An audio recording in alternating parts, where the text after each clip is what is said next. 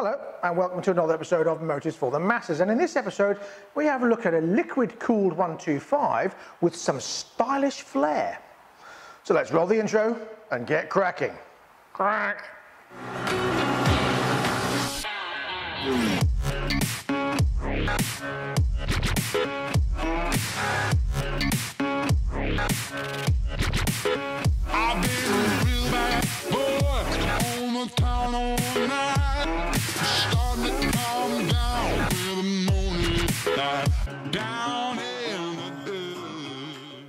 Now, before we start, I want to apologise if there's a slight echo in here, but outside is just too windy and too sporadic in its rain environmentally.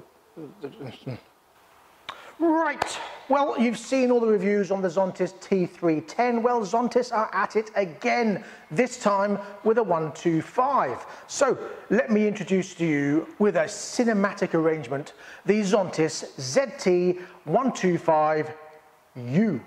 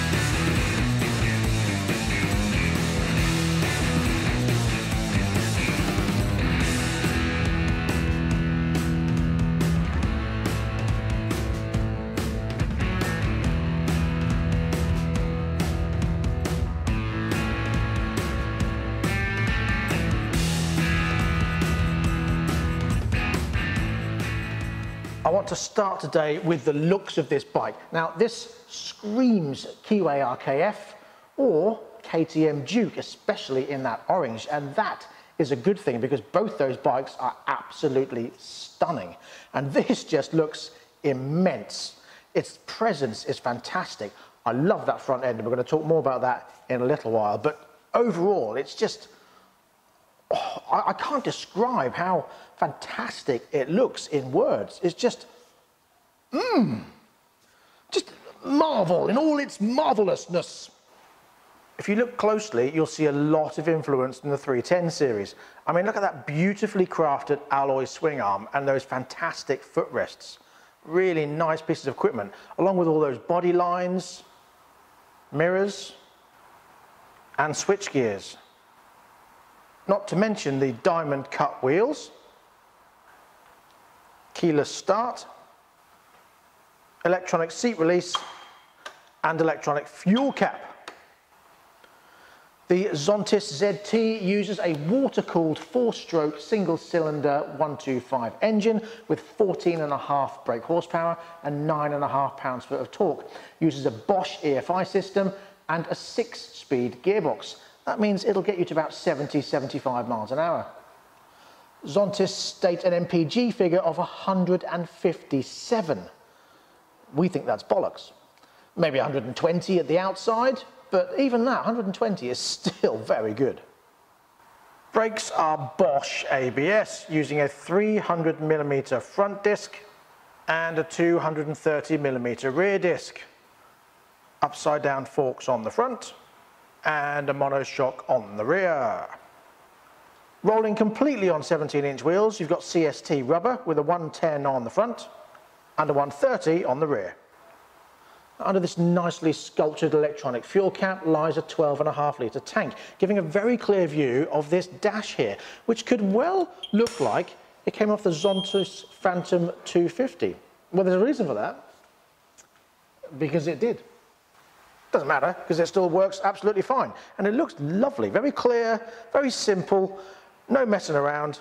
It does the job it's supposed to do. Now, I do want to mention this. Now, these proximity keys really are proximity keys because If this is not anywhere near the bike, as in on it, it won't work. So here, it's fine. If I put it down here, which is one meter away, it will not unlock. Now that's fantastic. I do like that. So I'm just going to bring it slightly closer. We're now half a meter away. Now it works. So basically within half a meter, as in anywhere in this circle of the actual bike, it will then unlock. Other than that, it won't work. I like that. Now again, there's a lot of style features I really like on this bike. Really well put together, really nicely sculptured. Even this stand, very reminiscent of the 310, and it looks fantastic. Doesn't look weak and flimsy, it looks nice. And that feeling also extends to things like this. Now, I really do like these little fins on here, very nicely done. And all these little design quirks and features, really nicely done. Very beautiful, very nice. All the wires in here all nicely wrapped up. You've got heat wrap around some of them as well, so anything that goes near the radiator is heat wrapped. And it's just neat and tidy. Very well built, very well built. Really am impressed, to be honest. I mean, bearing in mind Zontes of old um, were okay, but they weren't amazing. The 310 turned a corner. This is just phenomenal. For a 125 bike, at this price point, and we'll talk more about that at the end, is brilliant. Really am impressed. Lots of little features. The rubbers they use, very nicely done. The design around all here. And the same thing goes for these switch gears. Again, very reminiscent of the 310. And I just love the way they are put together. They're all good quality, nice, good switches, lovely design, nice and clunky as they should be. Everything has a purposeful shunt. Um, and it just looks really nice. You know, I can't sort of praise it enough, really. Um, they are backlit, and when I start the bike, you'll see that they're backlit. Uh, red, again, like the Zontes 310. You've got your kill switch here. You've got your lights on and off. But again, being Euro 4, or sorry, Euro 5, Euro 5, yes, Euro 5, um, the lights are on all the time. Um, you've got your lock here, your seat release, your fuel cap, your start button. Kill switch is also your off switch. Indicators on this side, horn, lights and hazard flashes and a pass on there as well. Um, it also has an eco and sport mode. Pretty pointless on a 125 I think because sport mode is pretty much all you're ever going to need eco, sport. That will stay in sport forever, I should think. I don't know anybody who's going to buy this bike and put it in eco mode. Maybe, but I very much doubt it. Um, other than that, it's all very clear. You've got a mode button on here, which changes from trip to odometer. Uh, your fuel indicator, rev counter along the top, and a big, nice digital speedo in the middle, and a gear indicator. Under the seat, you can't really put anything in here other than uh, maybe a small toolkit, but then that lifts out like so, very simple. And under here is the battery, a nice big chunky 10 amp hour battery. Certainly going to do everything it needs to do on this bike. Now, I think they've learnt from the 310, the old 310 had um, a lithium battery and the size was only really big enough for a, uh, a 4 amp hour or a, like a 4 BS um, gel battery, which is probably what you find on a 50. Um, so uh, they've really learned from that and they've really upped the capacity of the battery. Looks nice and neat under there again, as you can see. Look at that, look. All these machined parts, very neat. All these braided and wrapped hoses, very nice. Really am impressed with the quality in there. Again, nice, good switches and uh, connectors in there. Nothing looks dodgy, nothing looks cheap. Really good. I like how the seat goes as well. You just push that in there, put that back on there, and that slots in like so.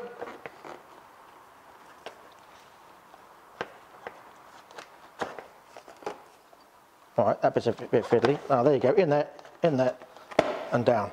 There, done. Nice. The exhaust tailpipe is very nice and stainless steel.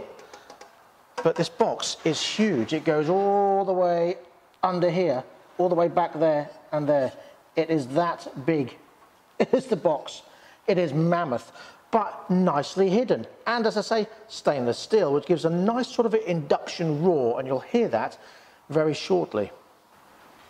The bike also has a slipper clutch, so smooth gear change is also expected. Now I understand that these um, mud guards and mud guard single-sided brackets are a bit marmite. Some people like them, some people don't. I personally don't mind them. This is quite large, but it does serve a purpose. It stops crap flipping up on the bottom of the bike and up your back. Um, perhaps a tail tidy option in here with a number plate, but then loads of bikes have that. And this seems to be the way everything is going now. I don't mind it. I prefer the single sided. This is a lovely sturdy bracket again. Um, plastic covered, but aluminium underneath, or possibly stainless steel. Maybe, maybe, or just steel. It's sturdy anyway. It certainly isn't going to come off. Um, it does its job. It works. It looks okay. Again, it is nicely done with this um, nice embossed Zontes badge in there. It's certainly not cheap and you can still see this side all open. Very nice, I do like that. Um, with a number plate on here, you wouldn't really have too much of an issue, but you've got your number plate down here, and then your L plate might be quite low for those that have L plates.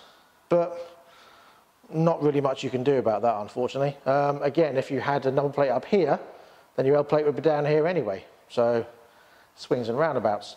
But you know, let us know in the comment section below what you feel about these style of brackets.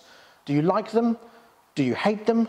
Do you don't mind them? Do you feel that you're okay with it? You'll put up with it because it serves a purpose and stops crap flicking up all over the place. Now under here you've got this little flap and inside here, if I can get it open uh, with my fingernails, oh, I'm gonna pull my nails off in a very manly kind of way. There we go. Are bolts.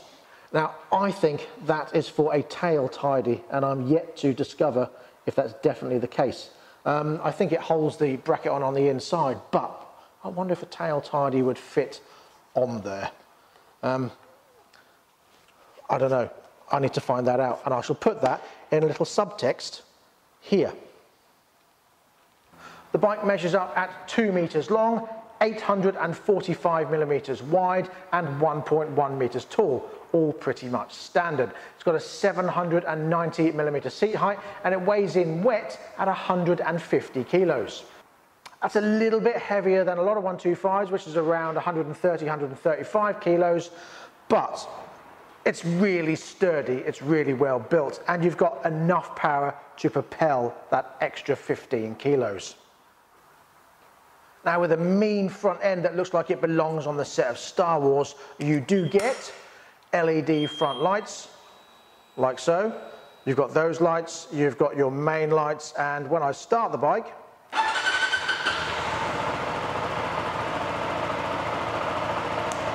a nice main beam.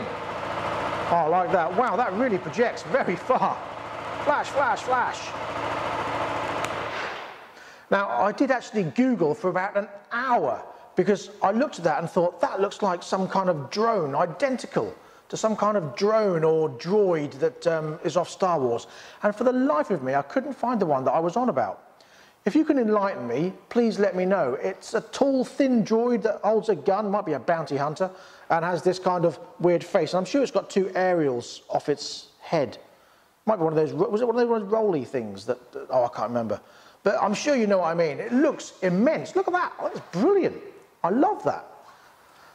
You get a nice neat LED light at the back there and your indicators are down here.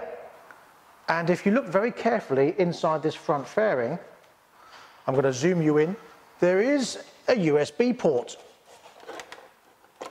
There. Right, okay, I'm just going to switch to the boom mic so you can hear how it sounds and the induction roar from this exhaust.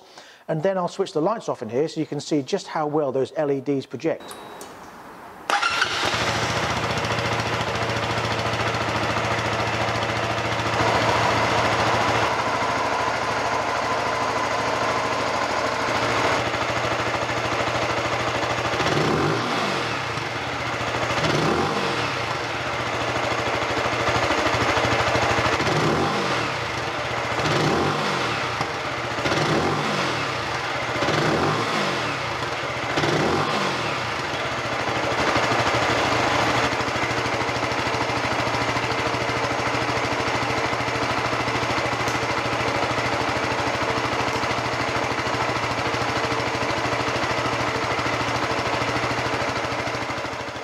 Okay, so um, it didn't work too well, did it? Because obviously when I turn the lights off, uh, the camera compensates for the lack of light. Damn you, Canon 80D and all your technology.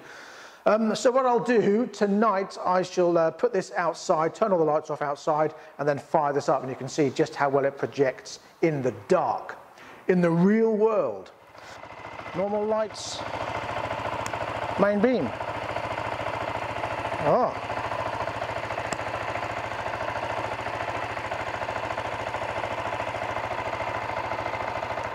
But for now, let's get this out on the road and see how it performs.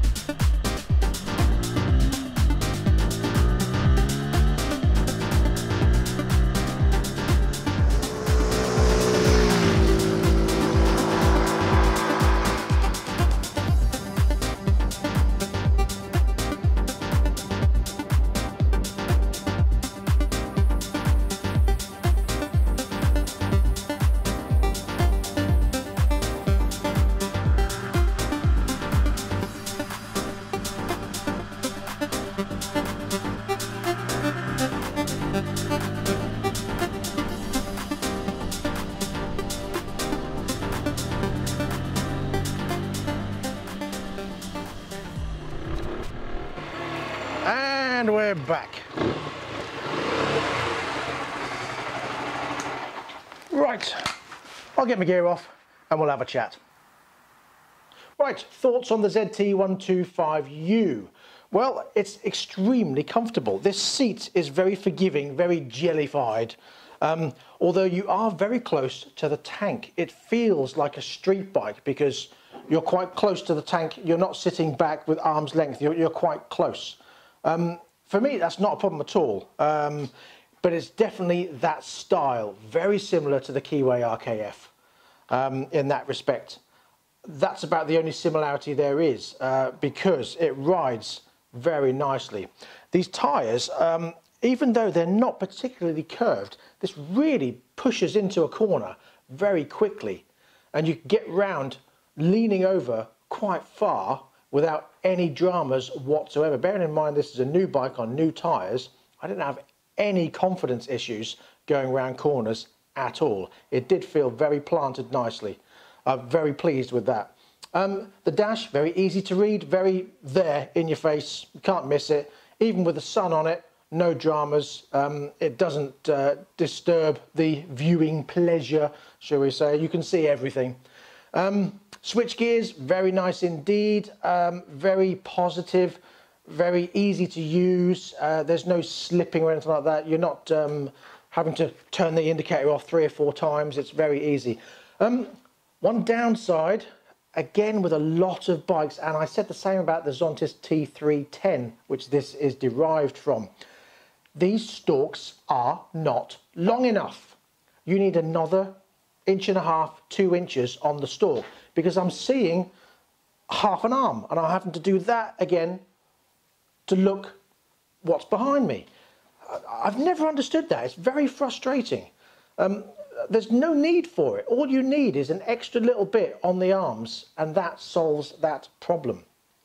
Other than that, it pulls very nicely. It's very smooth. That gear change is very positive. The slipper clutch does a great job because it does change gear very nicely, very smoothly, very much into the gear without any worries about slipping or missing gears at all.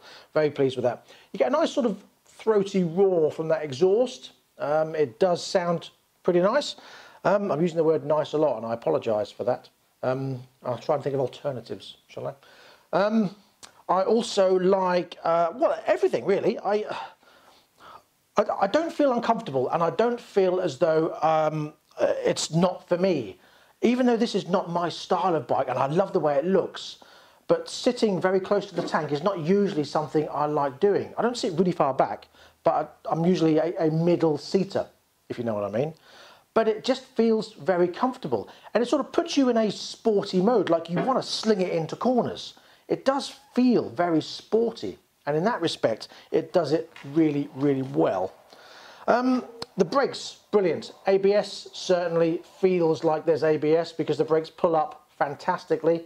And again, bearing in mind I can't brake too hard because this is a new bike on new brakes. Um, other than that, I don't have anything else to say about it. Um, everything feels very accessible. Everything feels uh, easy to use and the bike is pleasurable to ride. I think is the best way to describe it. It's pleasurable. There you go. Better than nice, isn't it? Um, so there you go. If I was to mention one other thing, it would be the suspension. Now, it does feel a little bit firm, but again, I think that adds to the sportiness. It's not wallowy by any means whatsoever. Um, it is, and but it's not knobbly. It's not like, ow, that hurts, ow, that hurts. It just feels a firm suspension, and I think that just adds to the sportiness of the bike. These crash bar bits, however nice and neat and solid they are, they've got two holes drilled in there like another piece of plastic should go on. But there isn't one. And there isn't any prepped for this bike. These have been built so they can go on different bikes and the holes are there, so deal with it kind of thing. Maybe a couple of um, flat-headed screws can go in there or something, or uh, kind of Allen key headed bolts just to block them off maybe. But other than that, I can't find anything else wrong. There's nothing else I don't like about this bike. So what about the price? Well, it's £2,899 on the road with a two-year parts and labour warranty. But how does that compare to its competitors? Well, something like the Keeway RKF is £2,400 but it does have two and a half horsepower less and it doesn't look as bonkers and as very well built as this. However very well built it is, it's just not quite to this quality. However, its main competitor, the KTM Duke, is £4,300, although at the moment it is £3,800, but that's still 900 quid more than one of these. And I don't know if that's 900 pounds more of a bike. 900 pound can get you a lot these days. It can pay for your insurance. So you can get this and the insurance for the price of a KTM. And that, I think, is a bargain.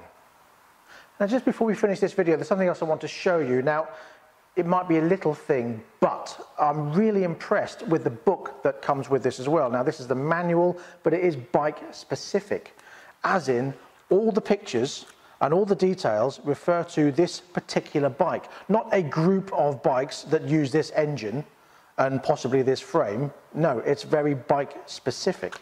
Now, this obviously is not a generic frame, it's not a generic bike, but everything in it is in the manual in English. And I'm really impressed with how it's laid out. Everything.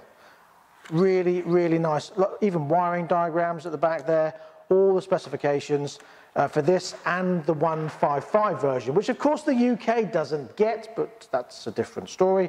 But I just want to say well done Zontes really, because that is a nice step forward. A lot of these bikes that are coming through, they're getting a lot better, but traditionally you get some generic leaflet with a few details on that maybe has some relevance to the bike that you have. But this, very good touch. And that brings us to the end of this episode of Motors for the Masses. Thank you very much for joining us. We are going to be back next time with another one of these Zontes, but a very, very different looking bike. Uh, you may see me in the same clothes because I may be filming it on the same day. Yeah, it's very busy at the moment. What can I say? Uh, unfortunately, I've even had to film this over three days. I'm filming this today on the inside. Then tomorrow, I'm out with the GoPro and the 360 camera. Chris, didn't know I had a 360 camera? You may have noticed from the filming earlier. Um, so I shall be doing that. And then on another day, I'll be out with Jamie in the truck and doing all the ride past shots. So yes, it's very busy at the moment. And with the lockdown looming, we've got to be very careful how we do things because we are adhering to lockdown rules, even though we are staying open as an essential shop for repairs and sales for essential workers and all that stuff. So yeah, um, if you do want to uh, learn more about this bike or if you are interested in this bike, perhaps you have one already, perhaps you have one on order, let us know in the comments section below. And if you want to reserve one or buy one, you can buy it from my shop Lightning Storm Motorcycles. The link is in the description below as well, along with the links to our Patreon and our Facebook shop if you want to buy hoodies and clothing and watches and stuff like that, or if you just want to support this channel through Patreon. Everything is unbelievably, graciously accepted. And thank you for your support by liking, subscribing and sharing this video as well. And don't forget to click that bell for future videos. And that's all I have to say.